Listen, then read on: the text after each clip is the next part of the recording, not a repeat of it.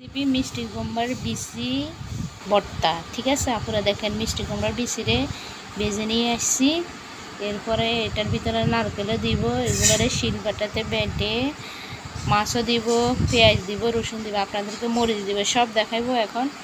মিষ্টি কুমড়ার বিচিকে ভেজে নিয়ে আসছি যে এগুলো বাটবে শিল পাতাতে আর নারকেলও ভেজে নিয়ে আসছি, এগুলো বাটবে দেখেন আপুরা ভাইয়েরা। দেখেন বাটতেছে মিষ্টি কুমড়ার বিচিকে। দেখতেছেন দেখেন এ বাটতেছে দেখেন আপুরা ভাইয়েরা এই পেঁয়াজ রসুন দিছে এগুলো বাটবে এখন দেখেন আপুরা ভাইয়েরা এই মাছ দিব বর্তাতে মাছ দিব তেলাপিয়া মাছের ভেজে নিয়ে আসছি এগুলো দিব এখন দেখেন আপুরা ভাইয়েরা এই লবণ দিতেছি